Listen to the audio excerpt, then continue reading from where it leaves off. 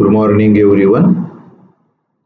Today we are going to explain last chapter fish preservation techniques. Introduction Fish is quickly perishable commodity and is spoiled fast if it is not properly preserved. A place of consumption is generally at a distance from the catching place. For fresh fish marketing needs fast transport and uh, cooling facilities and proper preservation techniques so as to be available in a lean or shortage period and how to be transported to the market. So since the fish contains large quantity of water in their body together with they also possessing large number of bacteria inside and outside of the body of fish and thus the spoilage of the fish occurs fast and thus it is essential to preserve them properly. So fish is quickly perishable or gets spoiled soon and is spoiled fast if it is not properly preserved. Generally, a place of consumption is at a distance from the catching place. For fish fresh marketing, for fresh fish marketing needs fast transport and cooling facilities and proper preservation techniques so as to be available in a lean or in a shortage period and how to be transported to the market. Fish flesh is mainly consists of proteins, fats, minerals and the vitamins with a very high percentage of the water. When fish is alive in a water, it carries large number of bacteria on the body, gills and in the gut or alimentary canal. Soon after the death of the fish, means just after its removal from the water, the bacteria start reproducing and attack various organs and uh, tissues and uh, spoil the fish.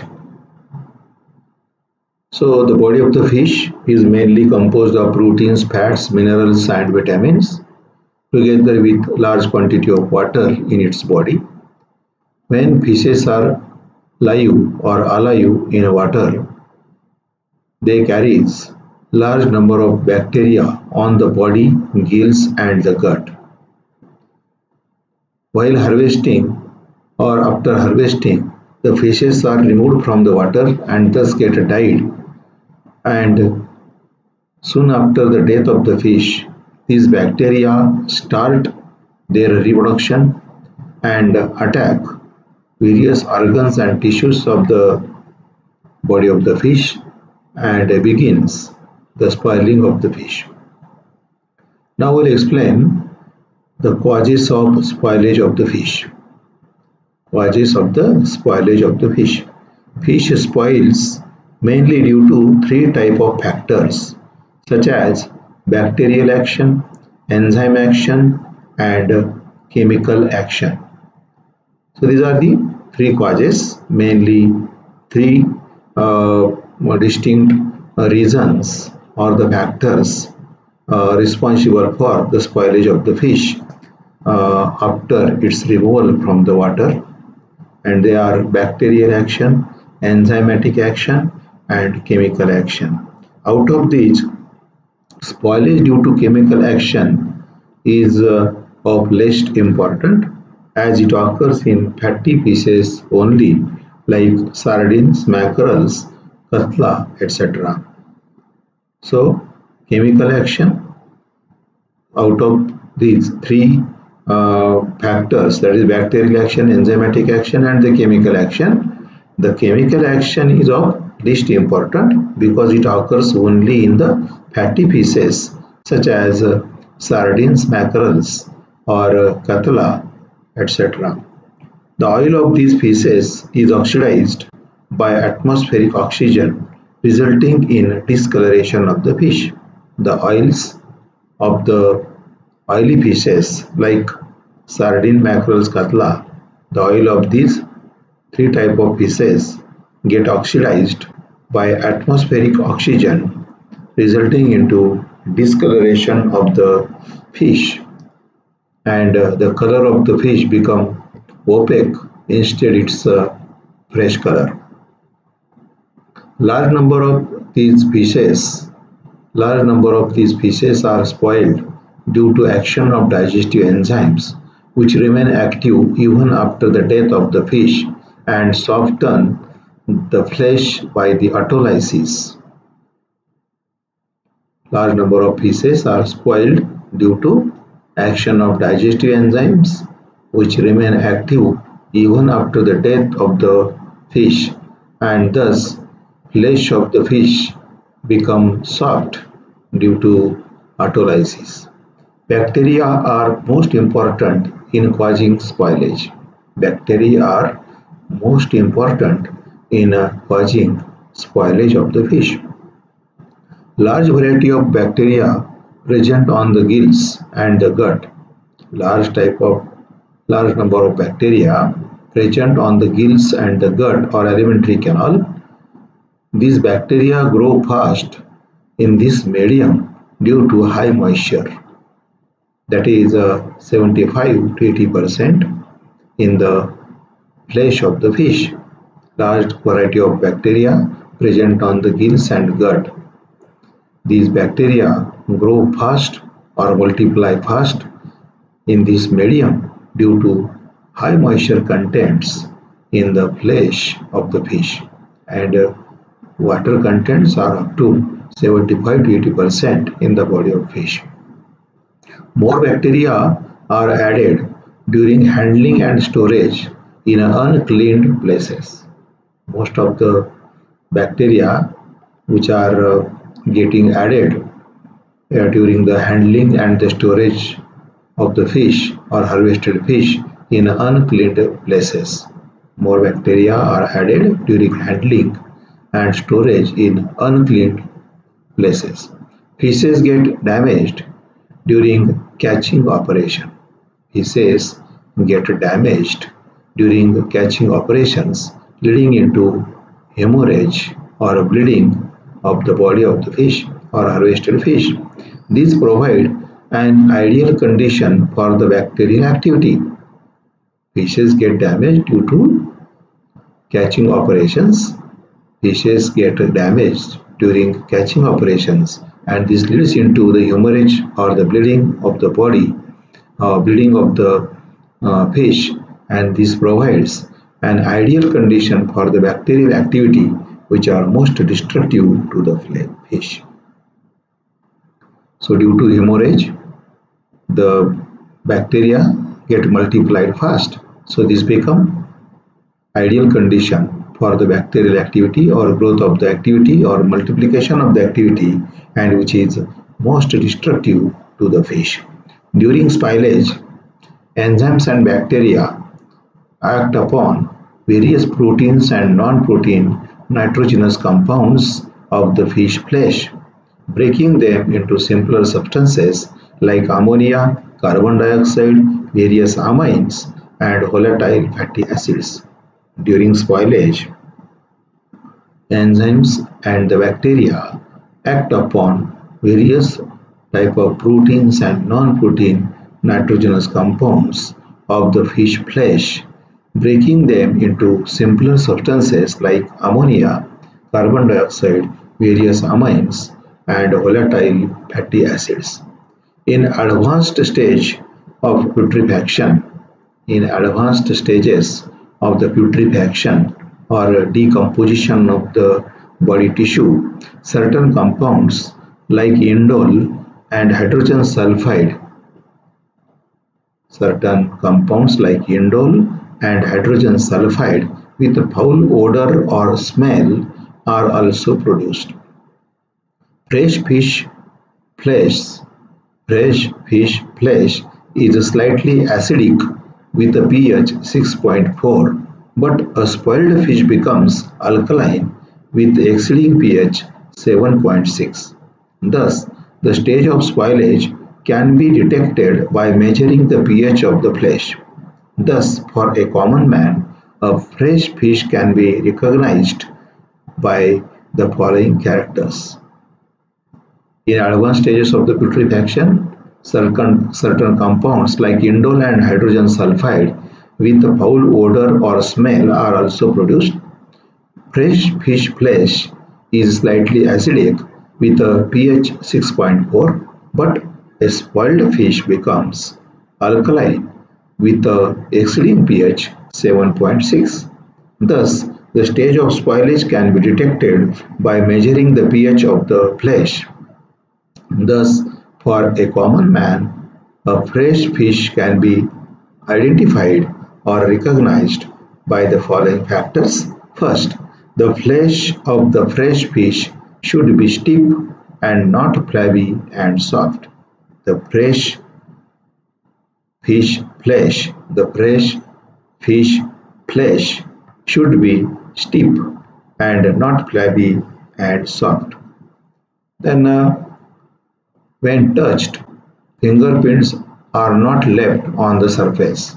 When touched, the fingerprints are not formed or are not left on the surface of the fish body.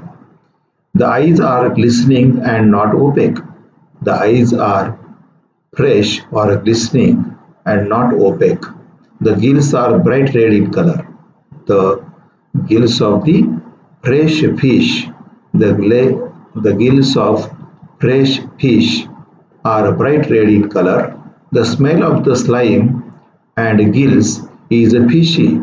The smell of the slime and gills is fishy in a fresh fish. The vent should not be protruding. The alimentary canal or the viscera from the cloaca should not protrude out of the body. The vent or uh, alimentary canal or the gut uh, should not protrude out through the cloacal aperture. The vent should not be protruding. So these are the uh, some of the causes uh, responsible for uh, spoilage of the fish that is uh, enzymatic action, chemical action and the bacterial action. So out of these three factors the chemical uh, action is of least important because this happens or occurs only in the fatty pieces. But most of the spoilage of the fish is mainly due to enzymatic action and uh, the bacterial action. And uh, uh, we have also uh, explained about uh, the certain uh, features to identify the fresh fish uh, for the uh, identification or recognition of the fresh fish how it looks or how it appears. That is uh, the fresh fish flesh should be stiff and uh, not flabby and soft. Then uh, when touched fingerprints should not be uh, formed on the surface the eyes are glistening and not opaque in a fresh fish. The gills are bright red in color. The smell of the slime and the gills is fishy in a fresh fish.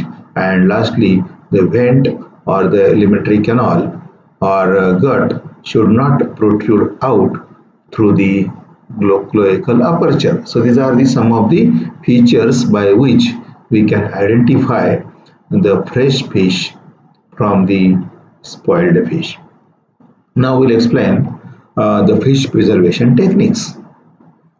A large section of the Indian population uses fish as a food.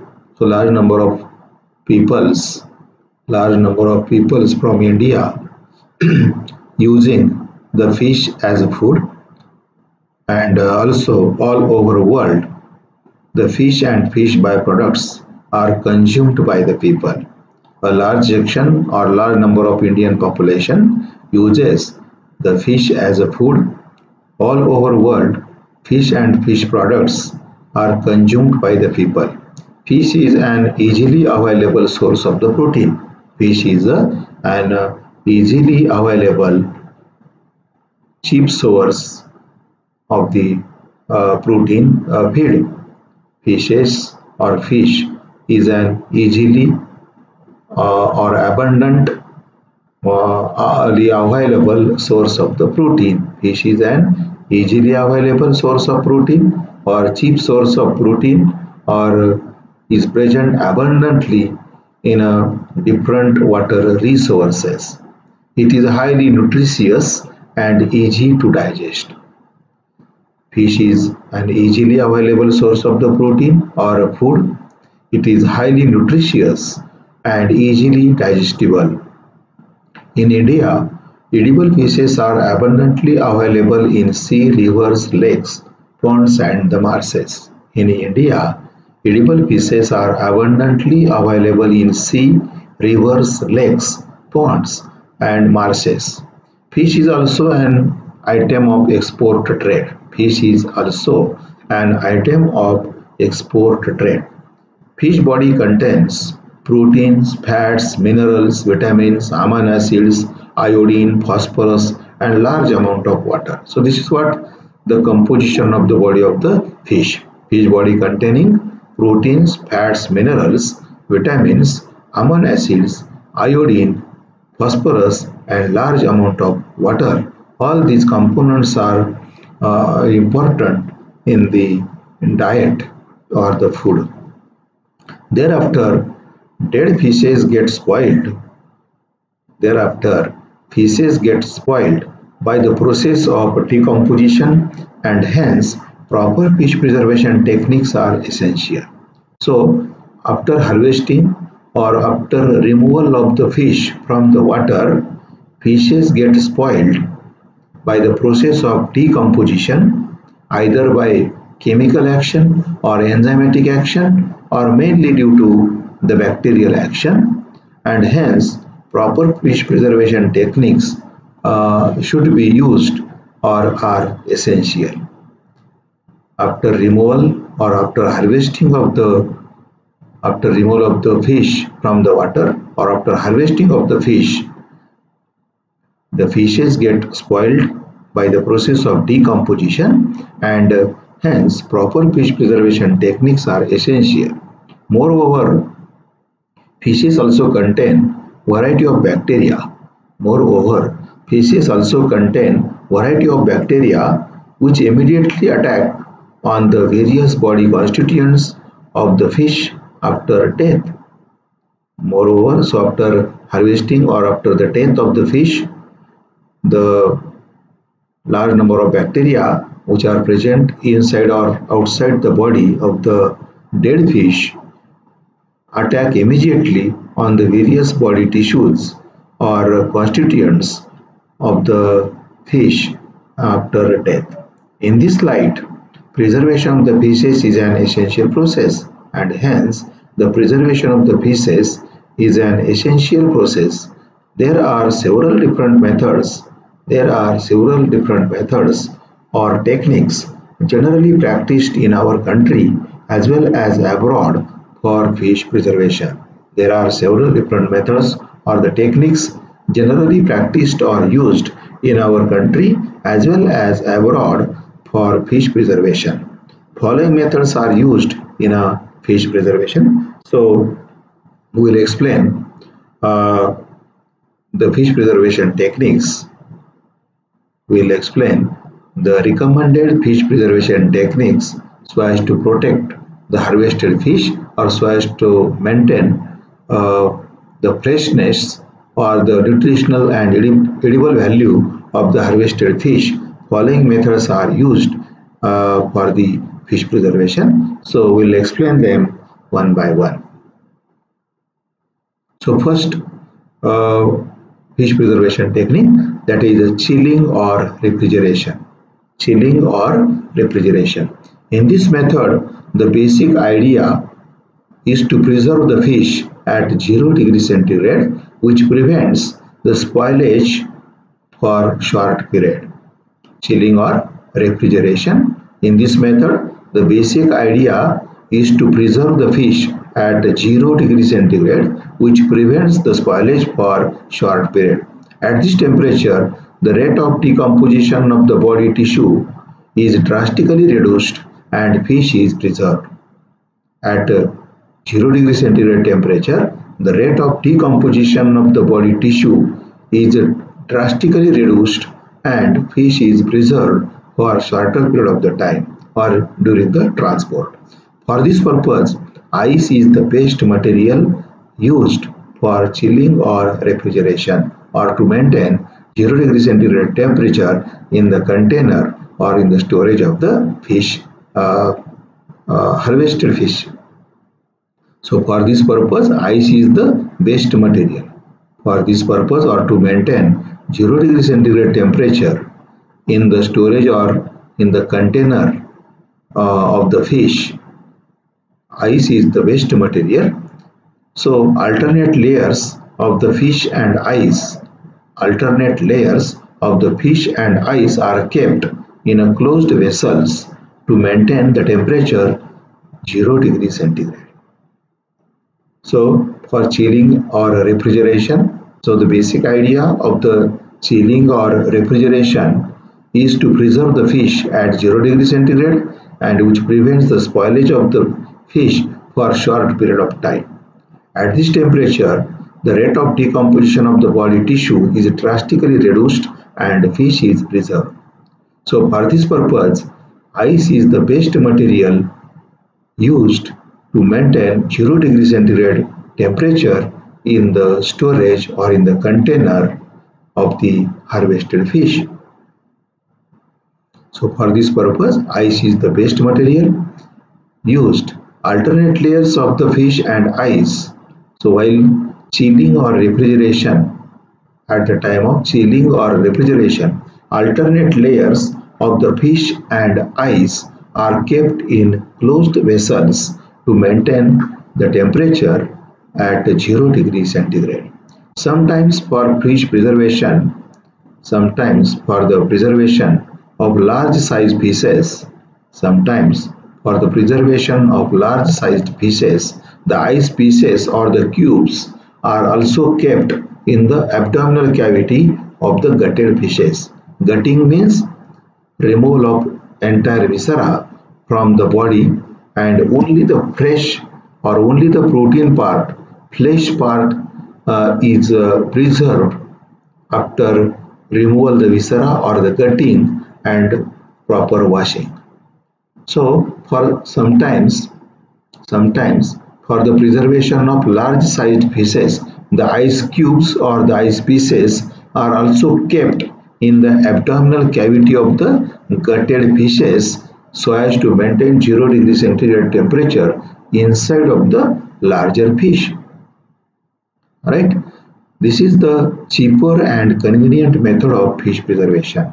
Chilling or refrigeration is thus a cheaper and convenient method of fish preservation and widely used for the fish transport from one place to another of short distance. Chilling or refrigeration is the cheaper and convenient method of fish preservation and widely used for fish transport from one place to another for short distance uh, only. Then second method of the fish preservation that is a deep freezing. Second method of fish preservation uh, that is a deep freezing. This method of the fish preservation is used for long period of preservation.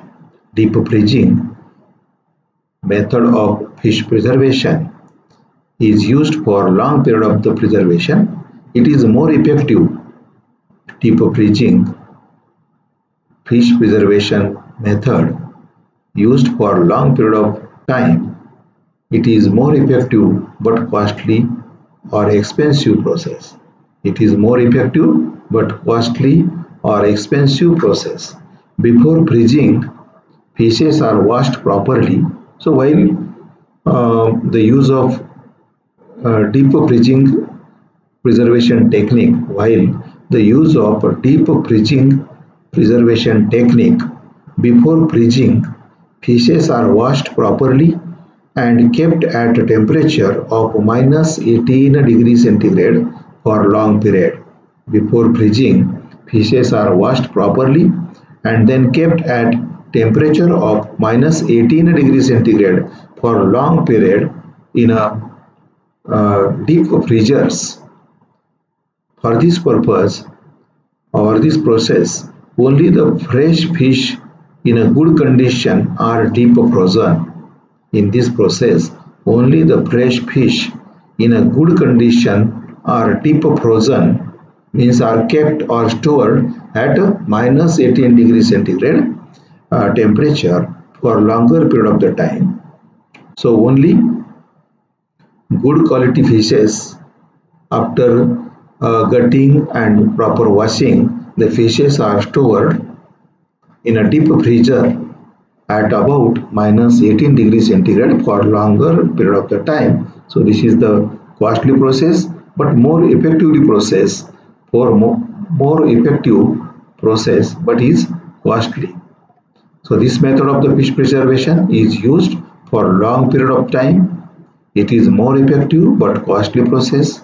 Before freezing, fishes are washed properly and kept at a temperature of minus 18 degrees centigrade for longer period of time. For this process, only the fresh fish in a good condition are deep frozen. Prior to keep the fish in this process, the heads of large fishes are removed and the viscera also removed and washed. So prior to keep the fish, prior to keep the fish in this process, for deep freezing, the heads, tails, gills, viscera, all perishable materials are first removed and washed properly and then are kept uh, in the deep freezer for the deep freezing process. So prior to keep the fish in this process, that is uh, deep freezing, the heads of large fishes are removed, the heads of large fishes are removed and the viscera also removed, viscera gills also removed and washed properly. This process is without spoilage and fishes can be kept for long period.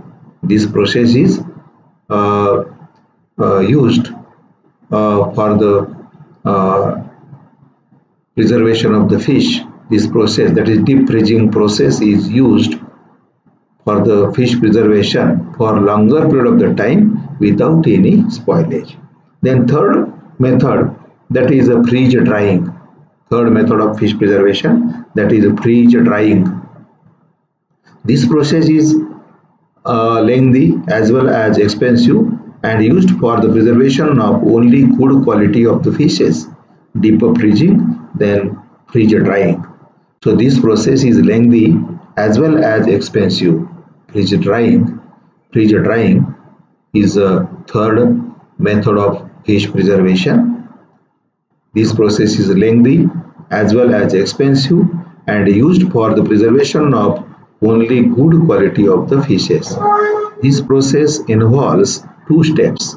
Freeze drying involves two steps that is first freezing of the fish and then the second step is drying of the fish by sublimation.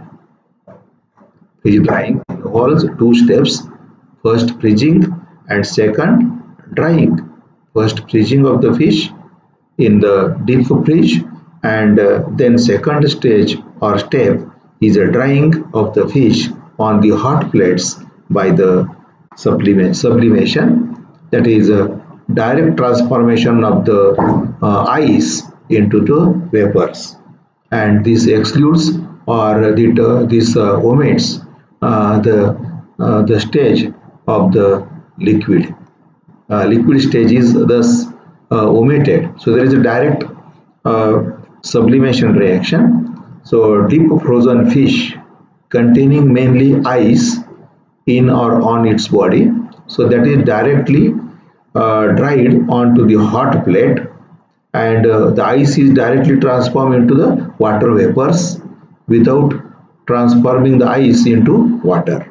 So this is a sublimation. So transformation of the ice directly into the vapors, water vapors and uh, excluding or uh, uh, excluding the uh, liquid state in between that is during the drying process.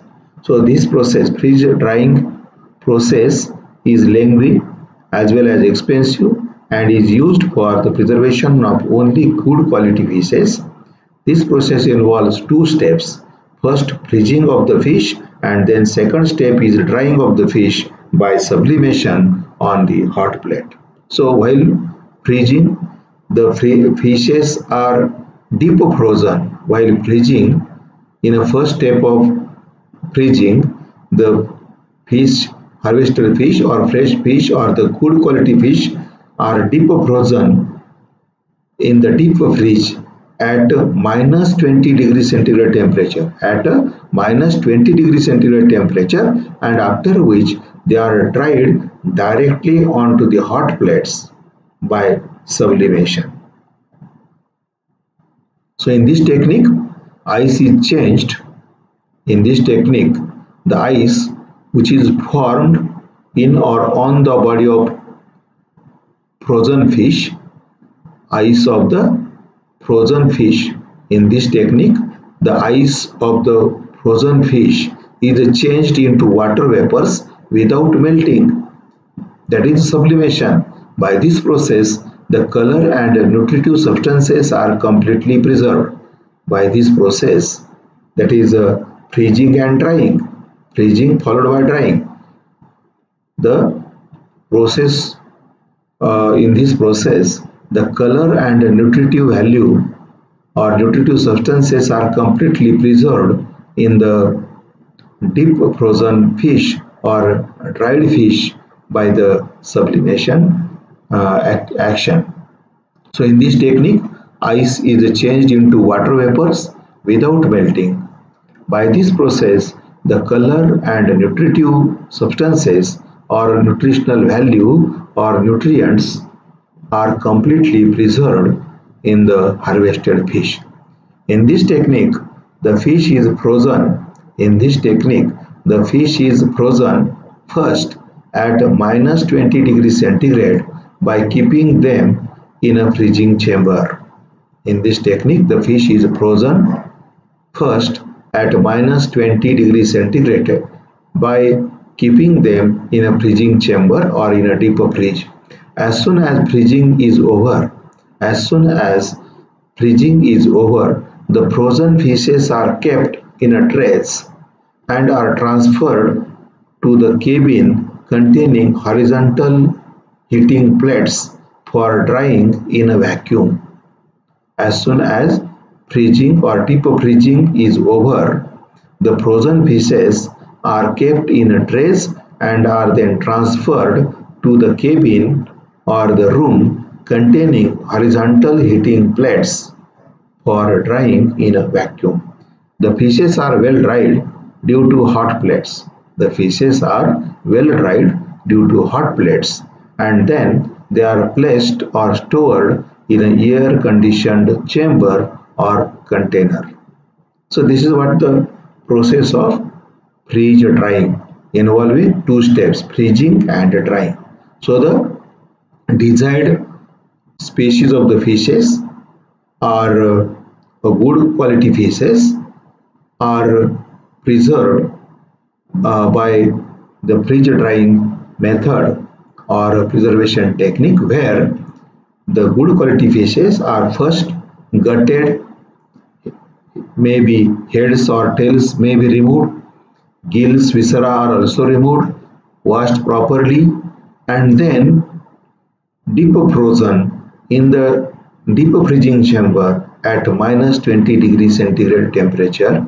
After deep freezing, the frozen fish is removed from the freezing chamber and uh, transferred to the trays and these trays are then transferred to the cabin containing horizontal heating plates for drying in the vacuum. The fishes are well dried due to hot plates and then they are placed or stored in air conditioned chamber. So this is the uh, process of uh, fish preservation by freeze drying. So this is about the uh, three methods of uh, preservation, three methods of the fish preservation that is chilling refrigeration, chilling refrigeration, then deep freezing. So in a chilling or refrigeration, simply the harvested fish is kept in the crushed ice or in the pieces of the ice with the alternate layers so as to maintain the 0 degree centigrade temperature in the container and this will uh, drastically uh, reduce the rate of decomposition of the fish by the bacterial action or the enzyme action. In a second uh, type that is a deeper freezing, the desired species of the fishes are washed properly and then uh, uh, stored in the uh, deep fridge or the freezing chamber where the temperature is maintained up to minus 18 degree centigrade. That is a deeper freezing and third type of uh, fish preservation that is a freeze drying where there are two steps. Only good quality fishes or the species of the fishes are preserved by this process because which is expensive or costly process where the desired species of the fishes are uh, stored in the freezing chamber or they are deep frozen at uh, minus 20 degrees centigrade temperature in the freezing chamber. And after the deep freezing at uh, minus 20 degrees centigrade temperature the fishes are removed or the fishes are kept in trays. Fishes are removed from the freezing chamber kept in trays and which are then transferred onto the uh, hot plates in the uh, cabin or a room containing horizontal heating plates for drying them in a vacuum. The fishes are well dried due to hot plates and then they are placed or stored in a air conditioned chamber. So this is what about the first three methods of uh, fish preservation that is chilling, deep freezing and freeze drying. So today with this we'll stop here and next time uh, we'll continue the remaining methods of the fish preservation starting with salting. Thank you.